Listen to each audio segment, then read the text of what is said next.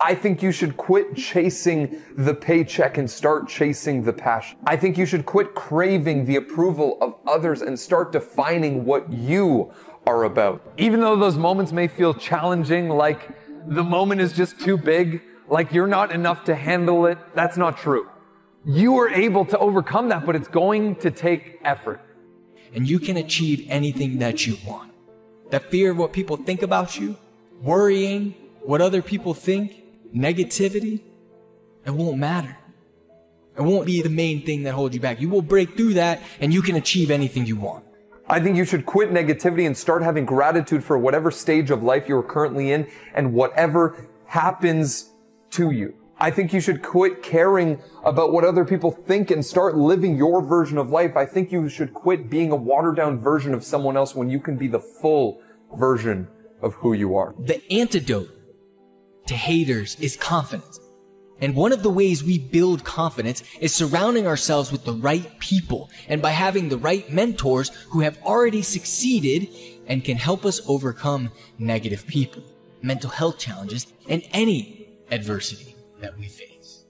Failure is necessary to be able to improve. Failure is necessary to be able to excel. If you aren't willing to fail, you are not going to succeed.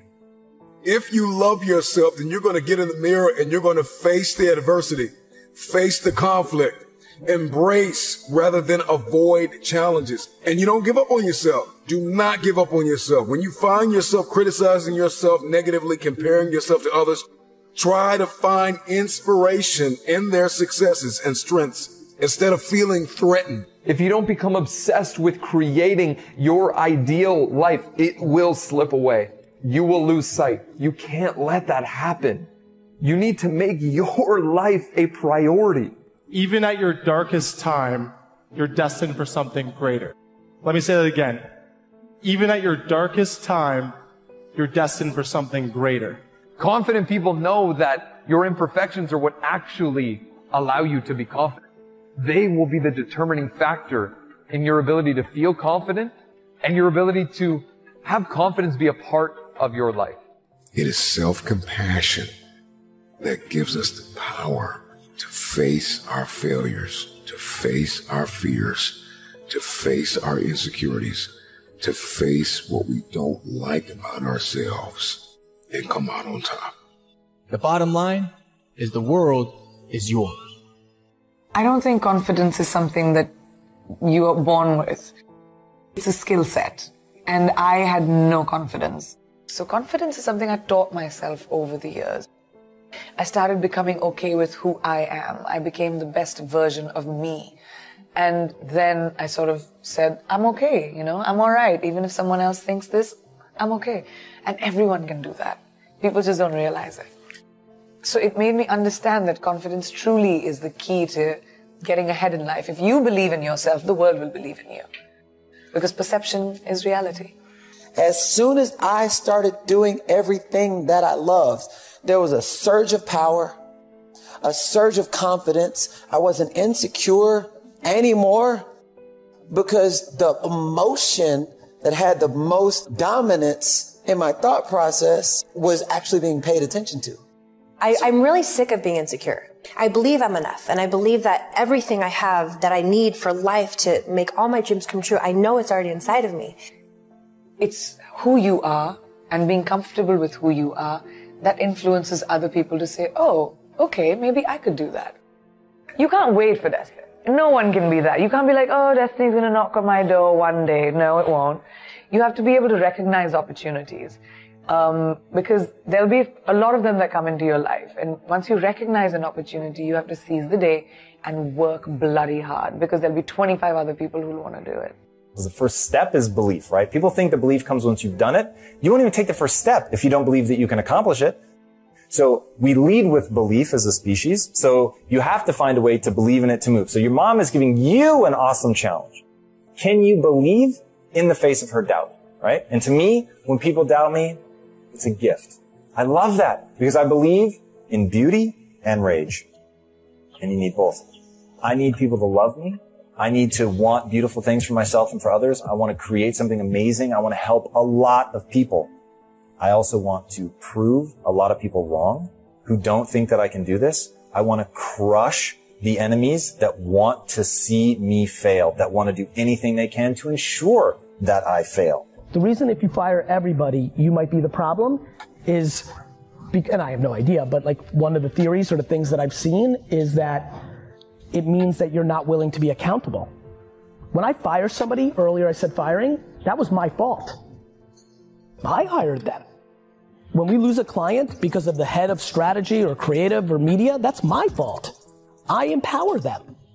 Once you take on full accountability, life gets awesome. Once you realize everything is your fault and you're in control, you know why everybody's so upset? They think somebody has control over them. I don't give a shit who the mayor, who the governor, who the president is. I'm gonna live. It's real facts. And by the way, if you don't like it, move to Sweden. Like, you're in control. I think that's, you know, my parents, for you know, and I'm not sure that's a Soviet thing. That was my parents, but I. I, it, I, I believe it is. Uh, it's a. Uh, they just you know, all the emotions go out and it's, it's get the job done. Yeah, dude, when you have context where like you had to stay in line for bread, for, there are people who complain every day and like just complain, but are buying $7 coffees at Starbucks. like, do you know how soft you are when you buy $7 coffee? I went on one family vacation in my life growing up. I worked every day from 14 years old, every weekend, every single summer day. I have no entitlement. I built a $65 million business for my mom and dad and left at 34 years old with no money because I didn't pay myself anything while I was building it. So when these kids are talking about being sad and want to be somebody, I was 34 years old and built a $65 million business. I built it, right? And I left with nothing and started over at 34. Zero. I started VaynerMedia in the conference room of Buddy Media's company because I had no money to pay for our own rent. I lack entitlement. It's my strength. I took that from them. Dwelling and pondering and crying doesn't do shit. And it especially doesn't do shit in this echo chamber. In this arena, there is no crying. You can cry. You're just to lose. And I have bad news about complaining and crying. Let me tell you something about complaining and crying that's really, really to hurt for all you complainers out there. Nobody gives a shit. And let me give you a preview who gives a shit. The following people give a shit when you complain. The other losers around you, your sick, broken parent that secretly wants to hold you down so that you're not more successful than them. And let me remind you one more time the other fucking losers around you. We have to start deploying self awareness if you leave here and start your process of really knowing what makes you happy, of who are you really, if you could stop chipping away the voices from the outside, if you can start figuring out what you're scared of, if you want to actually do something, even in the light of the picture that I'm painting right now, who are you scared to fail in front of? The reason so many of you are not doing what you want to do is you're scared to fail in some you're scared that your brother will judge you, your wife, your girlfriend, your husband, and most scary, your mom or your dad. You need to eliminate that and or own that fear and put yourself in a position to succeed. Because with all of this, with all of this, we are now in the greatest era. For the first time ever, with no fucking money, with no goddamn connections, this can put you on the map. If you're good enough, if you are good enough to be up here, to make bling bling, if you are good enough, nobody's stopping you. Not fucking Donald Trump, not the fucking Russians, nobody. If you're building a small life on what you have, what God has given you, you're made in the likeness and image of God, and you've been given authority and dominion over everything over the face of the earth. You can't build a new life. You can't fit a new life, an expanded life, in a small mind. You have something special. You have greatness in you. Visualize the life that you want to create. Make the commitment, make up your mind to make a radical change in your behavior, knowing you don't get in life what you want, you get in life what you are. Look at your relationships and ask the question what kind of person am I becoming because of this relationship? What is it doing to me?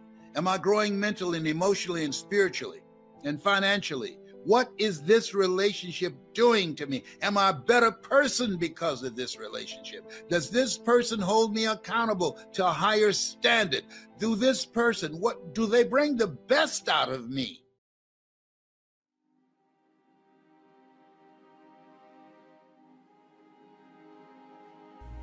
And you should understand this that it was always going to be your family and your friends that would be the first ones to try and talk you out of your vision and your big idea. That's why you're supposed to live your life.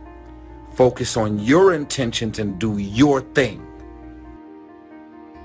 A lot of people put success on this mountaintop and they say, I'll feel successful when I get here, when I make this amount of money, when I find this person, right?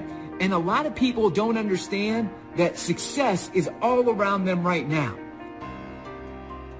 That I've decided a long time ago that I didn't want to be another man who lived and died and didn't do anything significant. There's so many of y'all that are running around that are connecting whatever your concept of what life and love and happiness is to this thing that doesn't exist. And so in your mind, you're not living until you get to that. Therefore, becoming is not about arrival, it's about the journey. We're committing to the journey, we're committing to the process.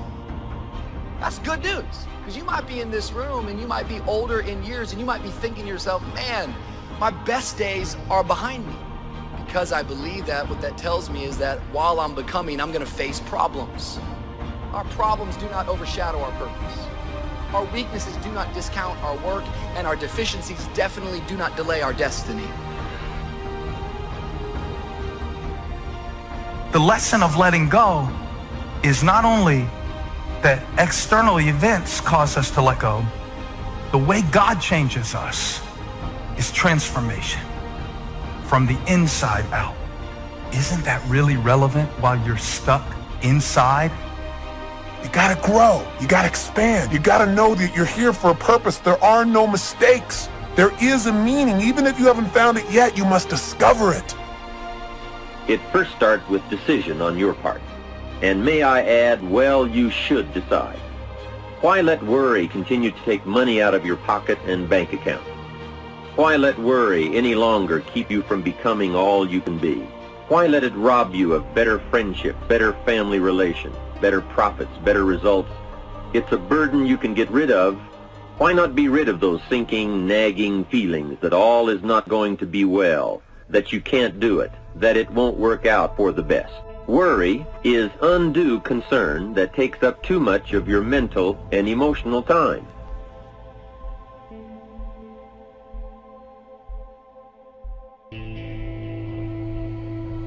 And you know what? For most people, they don't discover the meaning of their life until their life is over. Or until somebody very close to them that they love is about to leave them. You don't have to wait for the pain to discover the meaning. And so although you may believe it to be true about you, these doubts and negative thoughts you have, these were not your original thoughts.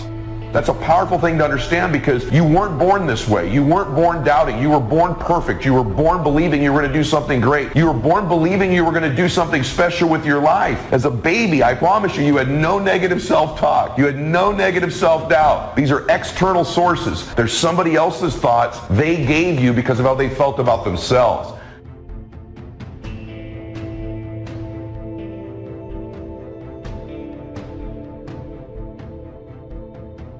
If you're offering words of wisdom to someone in the genuine attempt to help and they treat that with contempt, then shut up because you're demeaning your words by throwing them away. Self-confidence is self-trust. Self-confidence is building a reputation with yourself that you keep your word to you, that you keep the promises you make to you. Somebody with self-confidence has a reputation with themselves that I do the things I say I'm going to do. And so the cool thing is self-confidence is an internal game. You do not need external accolades, external admiration in order to build self-confidence. You don't need any of those external forces. It's all done internally. You control this. And you control this by beginning today to keep the promises you make to yourself. It's not good enough just to keep the promises you make to yourself. You must acknowledge it when you do it to you to give yourself credit to create confidence momentum. expect the constituents and the comrades to leave you and desert you after a while. Don't be upset when they don't react to your dream the way you expected them to because they were never really with you in the first place. Success breeds contempt. You'll know you're winning when they start hating you.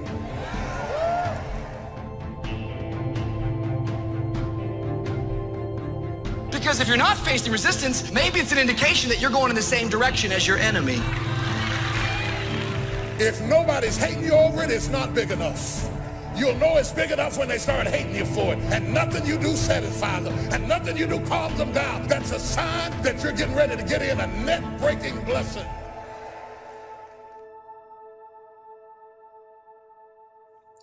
You see, writing about events and circumstances that occur helps you to clarify exactly what is happening. When we describe life to ourselves only in our minds, our imaginations tend to feed false or distorted information about how things are, positive or negative. When we describe a situation in writing, however, we become more factual, more accurate, and certainly more realistic. Then, as we reread what we have written, we create a new picture in our minds to replace the distorted picture we have been working with.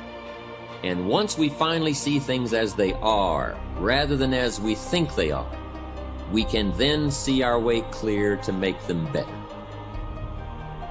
As you begin to develop the habit of writing down your problems, recording your observations, emotions, and reactions to life's events, you will undoubtedly find yourself both posing and responding to a whole new set of questions about your past, present, and future.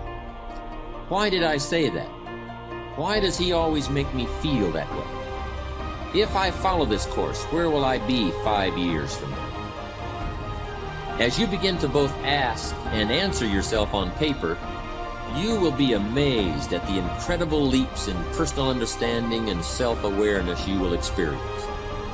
And remember, any positive change which occurs within you will ultimately manifest itself in a positive result outside of you, in your social or professional world, your attitude, your bank account, your habits, and even your appearance.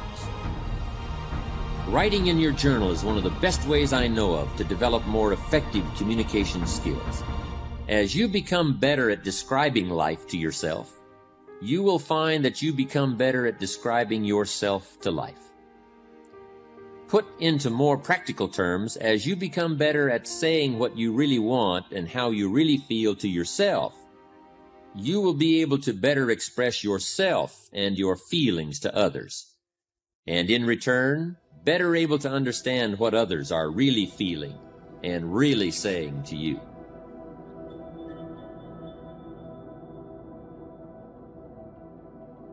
Do you define yourself by your emotions? Do you define yourself by your status? Do you define yourself by your lowest point? Do you define yourself by your highest achievement? All of that is dangerous. Because the moment you start believing that you are what you do or you are what you went through, there's a bleeding on the inside that happens when your when your sense of self-worth flows from what you do and what you go through.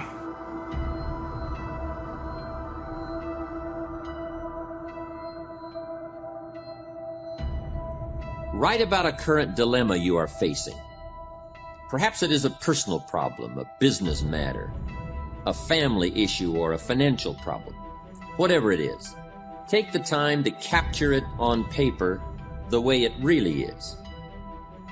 But remember, writing out the problem is only the first step to creative problem solving and effective decision making. The next step is to carefully analyze what you have written. Here are some of the key things to look for. First, exaggerations or distortions of the truth. Are you really telling it like it is? Take another look. Perhaps your concern is making it seem worse than it is, or your enthusiasm is making it seem better than it is. Second, a tendency to blame circumstances or someone else for your problem instead of seeing yourself as the cause. You see, most of our difficulties are the result of either failing to do what we could have done or in doing in haste what we should never have done.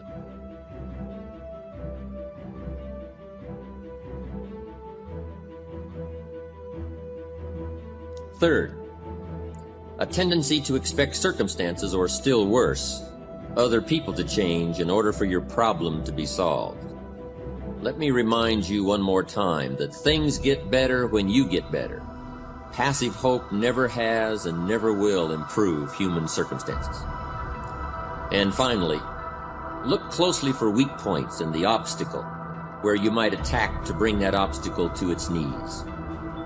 It usually doesn't take much more than a few minor adjustments in either our attitude or our action plan to solve a major problem. Essentially, you must learn to view your problems like a scientist who puts tiny organisms on a slide. Examine your circumstances through the lens of the microscope of truth to see their real nature, their real perimeters, and their real composition.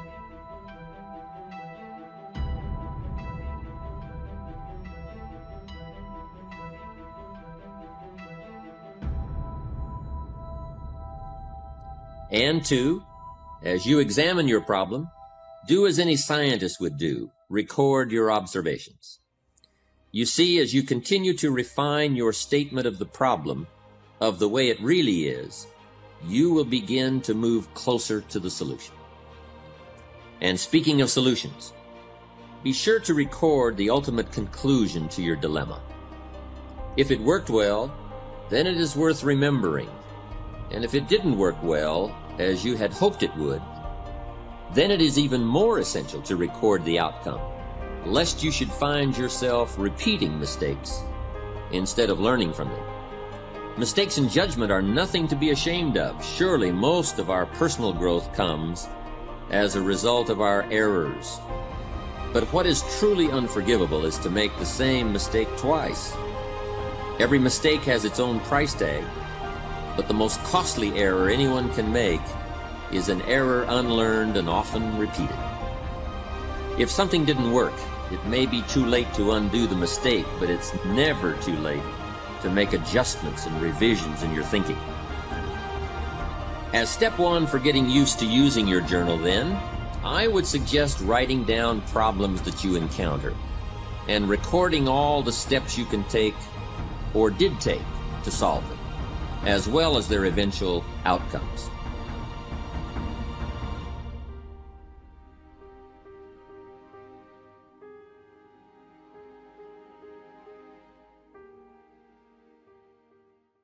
Hi, welcome back to Mind Control. The first way to get focus is to find purpose. The way to find purpose is you must identify what it is that you have to be purposeful in right when you are struggling with what to do, who you are, what's your next move, you are in an identity crisis. You are struggling with just who you are. See, you have not discovered who you are.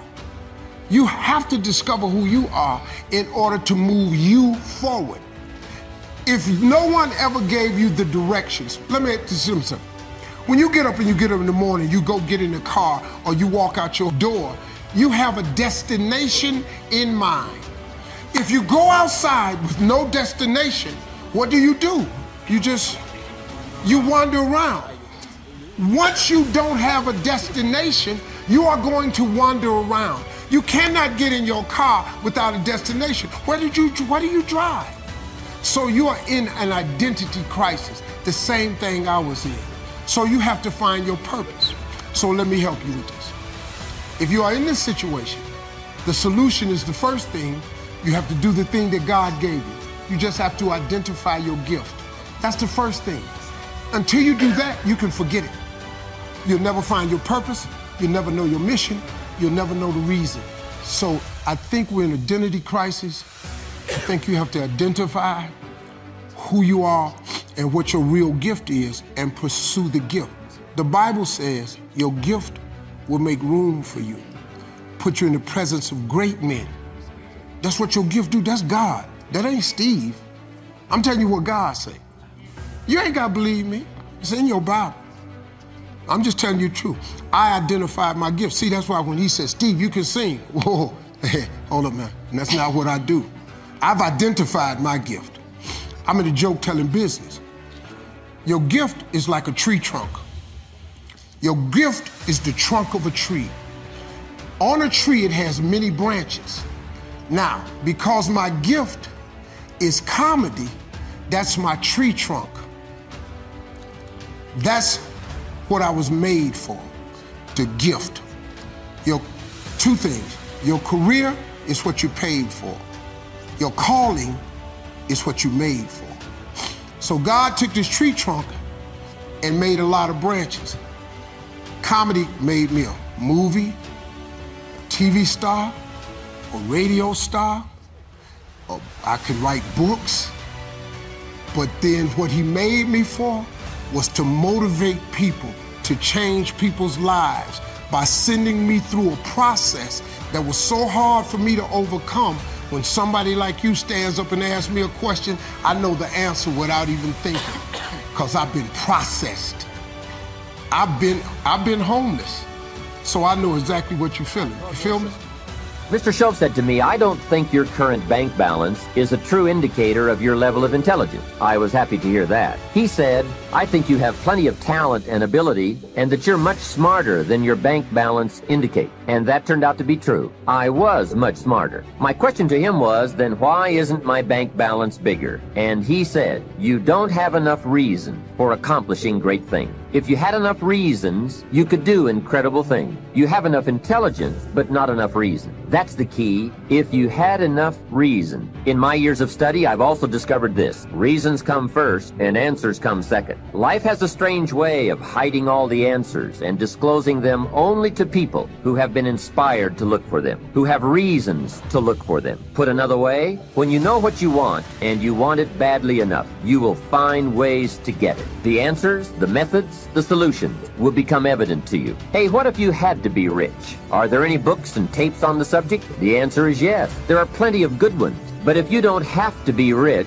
you probably won't read the books or listen to the tape. What drives us to find the answers is necessity. So work on your reasons first, answer second. Now, what are some of the reasons for doing well? It varies from person to person. I'm sure that if you did a little soul searching, you could come up with a fairly strong list of reasons why you want to accomplish great things. There are personal reasons, sometimes uniquely personal reasons. Some people do well for the recognition. Some do well because of the way it makes them feel. They love the feeling of being a winner. That's one of the best reasons. My mom this morning knew I wasn't feeling good. She goes, honey, do you need to cancel that talk. I'm like, mom, I can't cancel on these people. It's like, you work so hard. Why does it matter? I go, mom, I'm helping them. She goes, oh, then you need to go. Because they're about service. Okay, so in your life, I'll go a little bit a little bit more here, you guys. In your life, if you combine understanding your mess can be repurposed, understanding I'm just like you, understanding the RAS, understanding changing your identity, understand bending time, you have a shot. Combined with this industry, combined with the information you're getting. But if you don't change your identity, do you know how many people I've had as friends that got wealthy that aren't anymore? More than I have that are still wealthy. Do you know how many friends I have who lost a lot of weight and got in shape and aren't shaping? Do you know how many friends I have that had a great relationship and marriage that aren't in that relationship marriage? Does this sound familiar, Ken? You want to know why? Their internal thermostat doing all that crap back. I ain't going back. I know where I am. I got to change that thermostat. By the way, you change the thermostat through your association. Change the thermostat. By the way, associations read books, follow them on social media, listen to their podcasts, their audios, all that stuff. Subscribe to my podcast. It's on iTunes. Listen to my YouTube. It's all free. I don't take, I make no money. This is work. My podcast costs me about a million dollars. I do it to help people. I'm here today to help you. I was paid to be here today, but it's one of the only things I do to get paid anymore to help. I'm here to help. I'm here to change your life. I spent the first 45 years of my life building my legacy and my dream, and I want to spend the second half helping other people build theirs. I feel like it's my calling and my mission in my life is to help people. It's sort of my form of ministry. I trickle God in there just a little bit, but not enough to be offensive. I give people the tools, skills, and inspiration to do it. I want to change the world. I want a billion people to change their lives to be a force for good. Let me explain to you why. I think the world is more screwed up and divided than it's ever been in the history of mankind. You're either a Democrat or a liberal or a Republican or a this or a that or black against white. If you in our country right now, evidently, if you're a white male, your enemy are brown people who are coming across our border, right? If that's not your enemy, then if you're a Christian, your enemy is a Muslim. If That's not your enemy, then if you're black, your enemy is white privileged male, right? By the way, really your enemy, if they're a Christian, white privileged, successful, married male, then they're really bad guys, right? And what we do is we enemy each other constantly in this world. We're more divided than we've ever been. People are broke, they're struggling, they want to blame somebody. The bottom line is people don't like their lives. They're not happy with their lives. They're looking for someone to blame. Politicians, Trump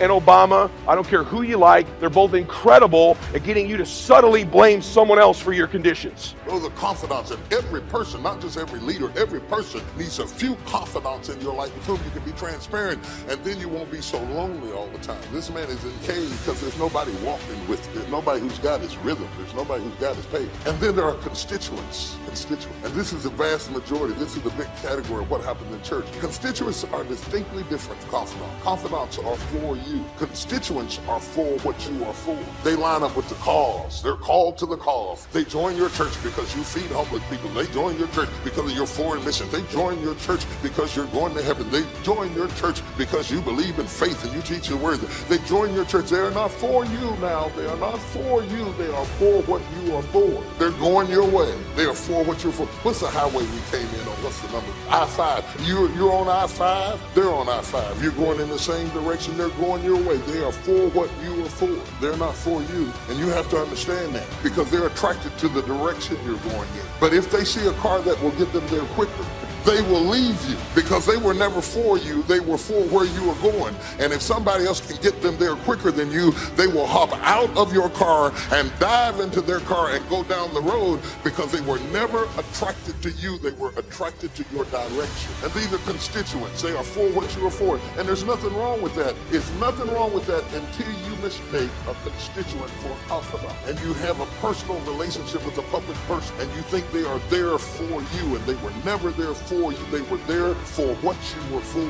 And then there are comrades. The third category is comrades. Now, comrades are not for you, and they are not for what you are for. They are just against what you are against. They're comrades. They are attracted to you because you have a common enemy, and they will be with you as long as the fight exists. But when the fight is over, they are gone. It's like the past election. I'm gonna be very careful because we get in politics, we'll all. But uh, in in the past election, when when McCain and and Hillary Clinton got together to attack Obama, McCain and Clinton wouldn't get together about nothing except they were both against Obama. Sometimes people only join you because you have a common enemy. They're comrades. They're with you in the struggle. And in the trenches, they're wearing your uniform. But when the fighting stops, you will be attacked in your own foxhole. If you bring a comrade too close to you, when your comrade gets through shooting at who you're shooting at, they will shoot you because they were never for you and they were never for what you were for. They were just against what you were against. You'd be surprised at the people who fight against stuff, just all kinds of stuff, abortion, same-sex marriage, all kinds of stuff. They're, they're against the same stuff, but they're not for each other. They join together in the fight. You, as a leader, have to know why people hooked up with you. Because if you misallocate a person into the wrong category, you will be brokenhearted and wounded and end up in the cave because you thought a constituent was a confidant, thought a comrade was a constituent. When the fight was over, they got shot in your own foxhole. And I don't care what you hear about on TV, there is no such thing as friendly fire. A bullet is a bullet. Where in the all fire Belimity did we get friendly fire from? Get closer. Uh, friendly fire. There is no friendly fire. You shot me. What is a friendly bullet? A bullet go in your hind end saying, I like you, you know? Woo, you know, what's up with that? Because success without fulfillment is the ultimate failure. Who's with me on this, right? You make everybody else feel great. I mean, it's a horrible example. I hate it, but we all know an extraordinary spirit that took his own life just recently. Probably lit up more human beings than almost anybody alive when it comes to humor and joy. He made everybody else feel happy but himself. It's sad. You don't want that to be you. If there's any gift he can give besides his joy, is the evidence of what you want to move towards. Nobody in this room is going to move towards that, but we do it at a little level. We die a little bit along the way by giving up what we really desire and believe in. And my goal is to make sure see if we can wake that up. So, and by the way, fulfillment is as unique as there are people. Achievement, there's laws, right? You do this, this, money, there are laws. Your body, there's laws. We all have biochemical, special, unique identities, but there's certain fundamentals. If you do them in mass, you're going to be overweight. If you do them differently, you're going to be fit and strong. Same thing with money. But fulfillment is as unique as art. Art is what one person thinks is beautiful, somebody else can think is ugly, and that's perfectly fine. Have you ever gone to an art museum and you see this big red square and they go, $10 million. You go, you gotta be kidding me. $10 million for the freaking square? I'll draw you a square. But someone else, no, look at the texture, the, the taste, the flavor. I can taste the paint from here. They have a different way of being fulfilled, right? So those are the two kind of lessons of life. So this is what I like to do to help those today if you want to play. Number one, let's take a look at what will give you the edge. Who's up for having a competitive edge in anything you do? Say I. And it's not BS and it's not positive thinking. It's something you can test because the edge is what's going to get more out of you. Second, I'd like to show you how to create a breakthrough. Who here is an area of your life where there's something you've struggled with for a while and you're sick of struggling with it and you're sick of making excuses you want to actually change it today? Who's got one of those in your life? Say ah. If you want to play full out, I can show you that. And the third element really affects the other two and it's really the one that affects business and life, and that's the power of engagement. All of these are tied to engagement. Thank you so much for watching till the end. Don't forget to share your thoughts in the comments section. Please also like, subscribe, and share this video with your friends and families. Please watch our other motivational videos. Thank you again.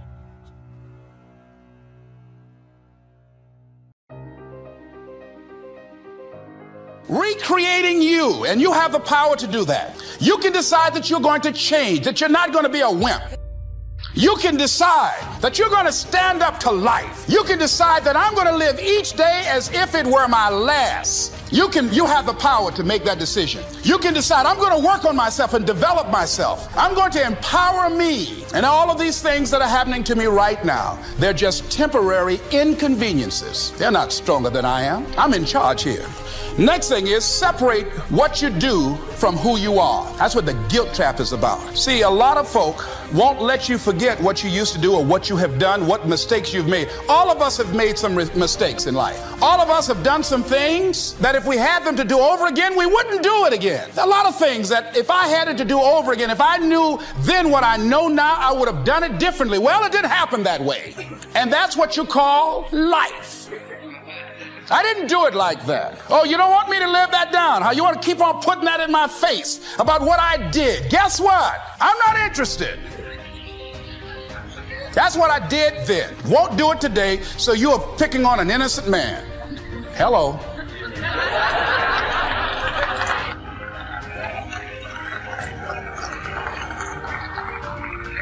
So, as you're in the process of reinventing your life, write a description of the kind of person that you want to be. What are the things that you must overcome? What qualities about your personality you know that you're going to have to change because those particular characteristics are liabilities to you?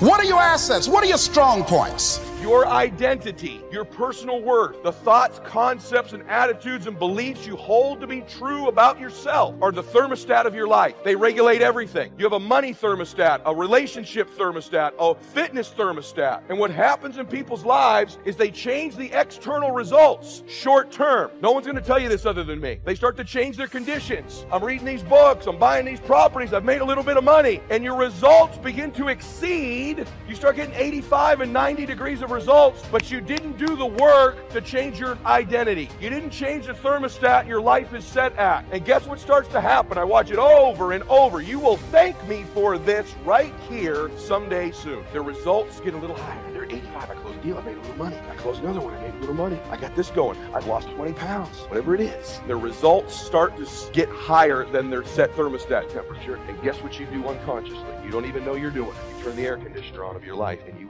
cool it back down eventually to get it right back where you're comfy, 75 degrees. Same thing happens when it goes bad. You're broke. The water's turned off. The power's turned off. Your car gets repossessed. They dynamite your property. You find a way to turn the heater on and get it back. The key to life is not the knowledge you learn. You have to have that. Knowledge is not power if it's not applied. The key in life is changing that internal thermostat. And if you don't change that, listen to me. It'll seem coincidental. Yeah, um, Something happened to the property. Uh, there was a bad rain. Uh, construction costs went up. The market conditions changed. Um, the interest rate went up. No, no, no, no, no. It's not coincidental. It's not. You cooled your life back down because you didn't do the work on who you are. The thing I have in my life is I associate with higher and higher identity people more and more and more in my life. That's what this group does for you. Begin to power of association. The people you associate with heat you up. If ever, any of you that are religious, if you weren't or if you weren't fit, let's say you hung around someone in this room that's super fit and you were out of shape. You can't be around that person constantly and not start to eat differently, start, start to think differently. If you're a person of faith, you're around someone who's a high thermostat temperature person of faith, you're around them all the time. You start to behave differently. If you're a man in the room and you start to hang around guys who are true to their wife and love their wife and are faithful to their wife and compliment their wife and hold their wife's hand, they do all that stuff. They date their wife. You can't help but change your thermostat. Same with money. You don't think Sylvester Stallone and Phil Knight and John Elway and Tony Robbins had an impact on me? But most of all, Success is making your life what you want it to be, considering all the possibilities, considering all the examples. What do you want for your life? That is the big question. Remember, success is not a set of standards from our culture, but rather a collection of personal values, clearly defined and ultimately achieved. Success is your better life for you, the design you give it, the dreams you accomplish. Making your life what you want it to be for you, that is success. One morning at breakfast, shortly after I met Mr. Shoaff, he asked me if he could see my current list of goals. He said, let me see your list of goals and let's go over them and talk about them. Maybe that's the best way I can help you right now. And I said, I don't have a list. He said, well, is it out in the car or at home somewhere? I said, no, sir. I don't have a list anywhere. He said, well, young man, that's where we better start. Then he added, if you don't have a list of your goals, I can guess your bank balance within a few hundred dollars, which he did. And that got my attention. I said, you mean that if I had a list of goals, that would change my bank balance? He said, drastically. That day I became a student of how to set goals. And sure enough, when I learned how, my whole life changed. My income, my bank account, my personality, my lifestyle, my accomplishments. So their lifelong dream is to have the restaurant experience, but their idea of the restaurant is based by what goes on in the front. And then they get hired and now they're working in the back where there's pushing and shoving and you find out who comes late and who you can't depend on. And so-and-so's real anointed, but they also are a liar and they get on your nerves and they're egotistical maniac. Can I be real up in here this morning? And they're like shocked and flabbergasted and saying, Oh God, I'm going to have to leave this ministry. I never thought in the world. Baby, you signed up for the restaurant, but we hired you in the kitchen. And I'm just wondering, have you hired your customers? Because they find those type of people sign on and they come on to have these grandiose spiritual extravagances. They want to have this moment. It's like people who move to your church because you were in a conference because they think the conference goes on every Sunday. And then they come back a few Sundays and all them extra people are not there. Israel Houghton is not singing this morning. It's Claire Clarabelle Wilson. And she just a skipping and a singing, and she can't sing worth jack, you know? And they say, Where is Israel? Israel is gone, baby. If you know the road ahead, you have an incredible power called anticipation. Anticipation is the ultimate advantage. See, winners, leaders anticipate, losers react. The reason you get beat is you don't know where things are happening, so you're reacting. Reaction is always stressful. And yet, so much of our life is predictable if we just were to study it, not be caught up in our day to day. It's predictable the challenges you're going to have in your relationships, or with your kids, or with your body, or with your job, or with your economics, or with your mother in law or father in law. These are predictable. And if you would anticipate these things and put a strategy in place, you could take it all out and have the quality of life that you deserve. In business, it's everything. Those that anticipate, those that lead, and then there's those that follow. The followers are the reactionaries. So the more we can anticipate, and you can't anticipate and lead unless you first learn how to lead yourself at a different level. And so I love to have you just see that if you and I can start to take control of our focus and we can start to take control of the meaning of our lives and make something really that meaning that empowers us, because look, what's wrong is always available, isn't it? There's always an Ebola, a bird flu. There's always something that's to kill the entire human race tomorrow on TV. And then there's your life. What's wrong is always available, and so is what's right. And you have to take control of that focus because otherwise you become the follower and you get to live your life. Even though you're a smart person, we're all smart, but it's easy to get led astray by everybody else's focus, isn't it? And then all of a sudden let them create the meaning for us. And then all of a sudden we're settling for a life far less than what we desire or deserve. So my approach is really simple. My approach is to say, let's you and I, just for a few little time we have here. By the way, this to me is a little time, a couple hours, two and a half hours, I guess, at this stage. Um, because the kind of the minimum length of seminar I do is 50 hours, five zero. And you go, are you kidding me? I don't like to hear myself talk. I like to see people do things so often they build muscle, not just thoughts. And so one thing I'm going to ask you to do in a few minutes is we're going to go from this passive mode that you're in right now into full engagement. Because if you get fully engaged, it's amazing what you can accomplish and do. When you're partially engaged, you get a little bit of result. When you're not, when you're disengaged, we all know what you get, nothing. And we live in a society where most of us are so overwhelmed. There's so much information. We're not, we're not having any problem with information. We're being drowning in information, but we're starving for wisdom. And so we got to separate it out. And so one way to separate it out is I'd like to talk to you about three things that can help you increase your performance and your life. Because what I'm obsessed by and have been for 37 years is what can increase, increase performance for an individual or an organization. But also I'm equally obsessed about what's going to make somebody fulfilled. Because who's had this horrible experience? Who here has ever achieved your goal and then your brain said, Is this all there is? Who's had this experience here? Say, I. And that's worse than failing. At least when you fail, your brain can say, I can figure this out and do it again a new way. But when you succeed and you're miserable, you're basically technically screwed.